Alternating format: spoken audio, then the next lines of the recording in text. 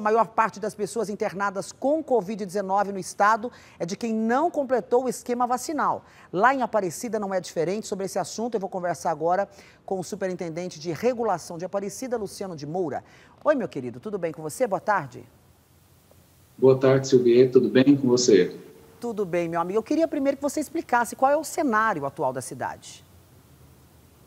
Bem, no momento nós estamos com a ocupação dos nossos leitos de UTI em 70%, mas uma análise que nós fizemos e que nos chamou a atenção foi o percentual de pessoas ou que estavam com seu esquema vacinal incompleto ou que não estavam com doses de vacina aplicada dentre esses internados nos leitos de terapia intensiva. Desse total, 76% desses pacientes que estão internados em leite de terapia intensiva, ou seja, pacientes que estão graves com a Covid-19, não apresentaram quadro vacinal completo.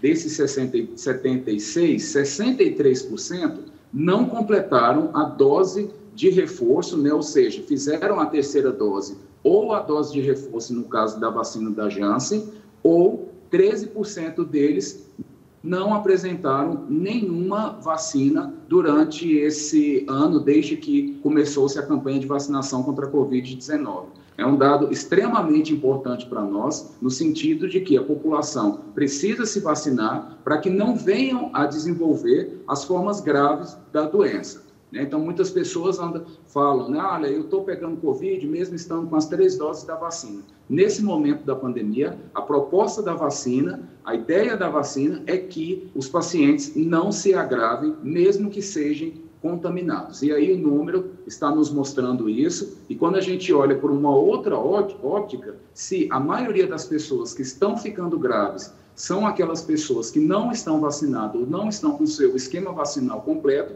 as pessoas que estão vacinadas, que tomaram a terceira dose ou a segunda dose, estão pegando a Covid-19, mas não estão se agravando em sua grande maioria. Eu queria que você fizesse, uma comparação em relação à primeira fase, né? A gente está aqui na terceira onda, digamos assim, de Covid-19. Que você fizesse uma comparação com as duas primeiras fases da doença na cidade. Um dado interessante, é, Silvier, é nós, que nós avaliamos também continuamente, é o índice de positividade. E aí eu vou fazer uma comparação aí com as demais fases, né, as, demais, as demais ondas né, da Covid-19. Hoje, o nosso índice de positividade da última semana, ele está em 38%. Ou seja, de 15 mil testes que nós fizemos, 15, 38% dos pacientes têm dado positivo, os demais têm dado negativo. É um índice extremamente alto, um índice de positividade extremamente alto. Porém, esse índice alto não se refletiu nas internações. Nós já tivemos aí, durante as outras ondas, é, índice de positividade aí em 15%, em 20%, e com uma ocupação de UTI muito maior do que o que nós vemos hoje. Então, nós já chegamos, por exemplo, a ter 180 leitos de UTI exclusivos para Covid-19 em Aparecida de Goiânia. Hoje, nós estamos mantendo a média de 90 leitos. Na época das demais ondas, nós já tivemos situações de ter 99% dos leitos ocupados, ou seja, praticamente todos os leitos estavam ocupados com pessoas com Covid-19.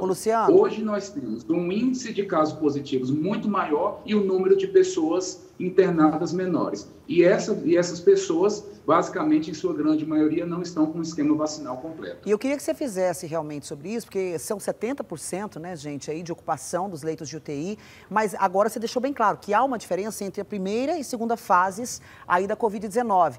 Observando esse momento atual, vocês consideram que já alarmante esse quadro de 70% ou ainda é considerado tranquilo? É, então, esse número de 70%, é, a gente sempre faz a comparação com a quantidade de leitos disponíveis. Né? Então, nós temos hoje uma taxa de ocupação de 70% para 90 leitos. Se for preciso, nós temos a capacidade de ampliação.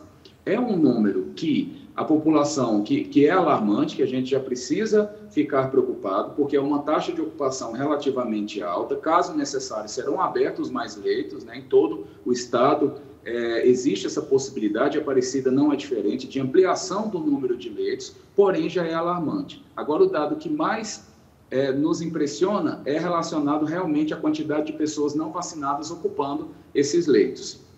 Eu vou falar com vocês sobre essa questão da não vacinação das pessoas, a não continuidade à vacinação, né, ao negacionismo, de fato, que acaba levando essa pessoa até a própria morte. Mas eu preciso citar com você em relação à Omicron, porque vocês aí têm essa facilidade maior e realmente fazem com muita frequência o sequenciamento, quando vocês fazem ali a coleta de uma pessoa, do sangue de uma pessoa, para saber se a Covid é a variante Omicron. E também sabemos, é, é notório da imprensa, que ainda não há uma vacina própria para a variante Omicron, que vai ser lançada ainda no mês de março. Como é que funciona essa relação? É, então, em relação às, aos sequenciamentos genômicos né, que a gente faz para saber realmente qual que é a variante que está em circulação, de fato, no município de Aparecida de Goiânia, nós temos a predominância da variante Ômicron. Ela é uma variante que é extremamente mais transmissível, né? então ela tem uma trans, transmissibilidade, uma capacidade de uma pessoa contrair o vírus de outra muito maior porém ela tem uma letalidade muito menor. As pessoas morrem menos em relação à variante ômicron. E aí a gente tem isso associado realmente à vacinação, porque a gente sabe que a vacina ela é extremamente eficaz contra as variantes que estavam em circulação anteriormente. Então a gente tem a variante delta, gama, né? Então tem, nós temos essas outras variantes. As vacinas são eficazes é, contra essas variantes que podem causar um número maior de internação. Então, a circulação dela, a transmissão entre uma pessoa e outra, ela foi reduzida por conta da vacinação. E aí a gente tem aí uma variante Ômicron, que a gente observa a, a predominância não só em Aparecida de Goiânia, mas em diversas regiões do país, da predominância dessa variante que causa efeitos menos letais, né? E, e, que os pacientes normalmente ficam menos graves. Então, é, é, na verdade, a associação da questão da imunização né, e dessa questão de todos os cuidados que são necessários para que a gente diminua essa cadeia de transmissão, para que a gente tenha aí uma situação um pouco mais confortável, né? Nós chegamos aí em números extremamente altos, como eu coloquei aqui, esse índice de positividade, né? No caso de Aparecida está em 38%, é extremamente alto e aí é de suma importância para que as pessoas se vacinem, para que as pessoas continuem tomando seus cuidados, para a gente interromper essa cadeia de transmissão. Quanto mais pessoas estiverem vacinadas, menos pessoas estarão transmitindo o vírus. Luciano, vamos falar agora da vacinação. Né? Eu, eu, me coloco no lugar, porque eu também. Eu sei que você, tá, você é um profissional ligado diretamente a todos os assuntos em relação à Covid-19. E, e, chega um momento que a gente fica estafado, a gente fica cansado de saber que ainda vamos passar por mais coisas, ainda pessoas internadas, ondas e ondas, sabe, que não param, não cessam. É uma situação que não cessa para a gente. O que, que você acha que acontece com as pessoas? Em relação a não se vacinarem ou não darem a continuidade ao ciclo de vacinas. Você acha que são pessoas que têm medo de reação dessa vacina ou são pessoas que realmente estão cansadas do assunto Covid-19? É, Silvia, nesse aspecto eu acho que é um somatório de fatores, né? É, você tem razão quando coloca que as pessoas estão realmente cansadas, sobrecarregadas em relação a esse, a esse assunto. Muitas pessoas tiveram perdas irreparáveis, né? Um, um, às vezes a gente coloca aí é, o, o, os números, mas um caso que acontece em uma família é, é 100%, né? Uma pessoa é uma vida que é perdida. Então, as pessoas é, realmente tiveram grandes perdas, né? Tiveram perdas aí é, é do ponto de vista social também, econômico, né? Então, são perdas irreparáveis. Então, é realmente é um assunto que nós é, é, que a população, no geral, está, está cansada mesmo, está sobrecarregada.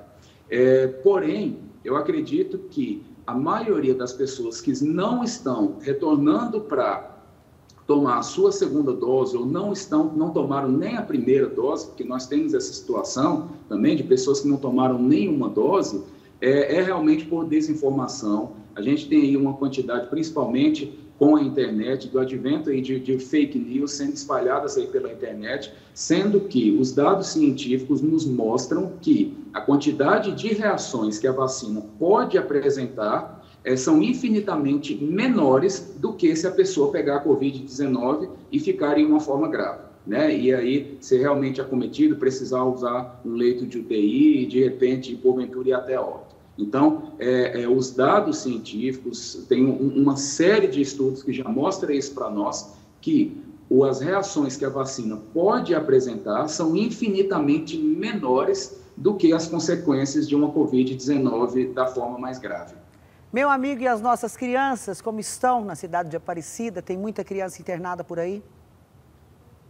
Nós temos uma situação de crianças também internadas. No momento, nós estamos com duas crianças internadas com a Covid-19 né, no nosso hospital. É, porém, em outras regiões do estado, a gente tem unidades de, de referência que possuem também pacientes de Aparecida de Goiânia internados.